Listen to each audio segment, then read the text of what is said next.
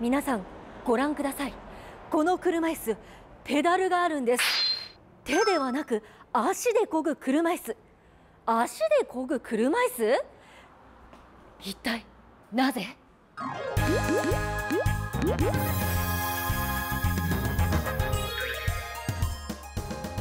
お邪魔したのは四国中央市の通所型リハビリテーション施設デイケア光2利用者の個々のリハビリニーズに対応するとともにレクリエーションも合わせて行い心と体のケアに力を入れています。村上さんこの車椅子私たちが知っているものと違ってペダルがついてますね。こちら足こぎ車椅子といってこのペダルを漕いで前に進んだりバックしたりすることができるリハビリ器具となっております。これでここの高齢者の皆さんはリハビリを行ってます。足こぎ車椅子は東北大学が研究開発。宮城県に本社を置く企業が2009年頃から製造販売しています。足こぎ車椅子はですね人間が本来持っている本能の一つ。右足を動かしたら次は左足っていう歩行反射を使います。わずかな足の力だけでペダルが回るという仕組みになっているんです。普通に漕いでみましょうか。普通に漕いでみる。はい。そうですそうですそうです。自転車のように。そうそうそうそうで右手のハンドルを手前に引っ張ったら右に曲がります、右に曲がる。わ曲がった。左に行くために押してみましょうハンドルを。はい。押す。あー左に回った。うーギュッ。お。すごい。もう乗りこなしてますね。楽しいですねこれ、ねいや思った以上にペダルが軽くてびっくりしました、最初乗られた方大抵の方そうやっておっしゃるんですうん、前に押し出すようなイメージで。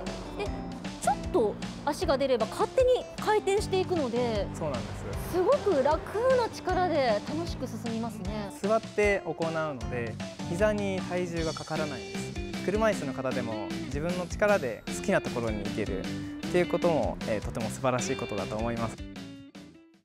デイケア光2ではこの足こぎ車椅子を10年ほど前に導入少しずつ増やしていって今ではグループ施設の栗の実土井と合わせておよそ70台を所有しています。うわ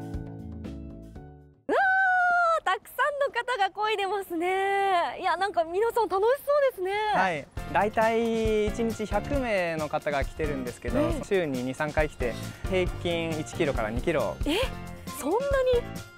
どんな方がどんな目的で利用されてるんですか？はい。病気や事故で足を悪くされた方がこの足こぎ車椅子を使って自分の筋肉をつけるために使ってます。最初あの階段から落ちまして圧迫骨折してそれから股関節も手術したんですけどこの足こぎ車椅子もっときついんかな思ったけどとってもこう滑らかにあの焦げるので楽しくなって喜んで毎日させてもらってます。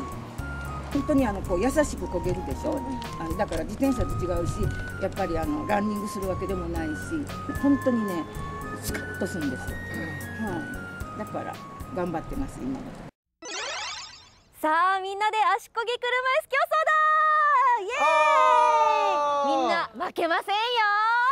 それでは行きますよ。皆さん山下アナ準備はいいですか？それでは行きます、はい。よーいスタートさあ頑張って。みんな早い。頑張って。みんな早い。みんな早い。頑張って。みんな頑張って。ゴール。圧倒的な負けです。皆さん参りました。本当元気ですね。はい、もううちではこの足こぎ車椅子を使った、えー大会を、ね、グループ全体で行っていましてそこで普段のリハビリの成果を、ね、みんな十分に発揮してもらって、ね、あの競争しています。リハビリってもう辛くてきついっていうねイメージありましたけどこれは本当に楽しいし、はい。利用者の皆さんも笑顔でとっても生き生きしてますね。はい、この楽しくねリハビリができるそして心と体の健康につながるっていうのが足こぎ車椅子の魅力の一つになっているんです。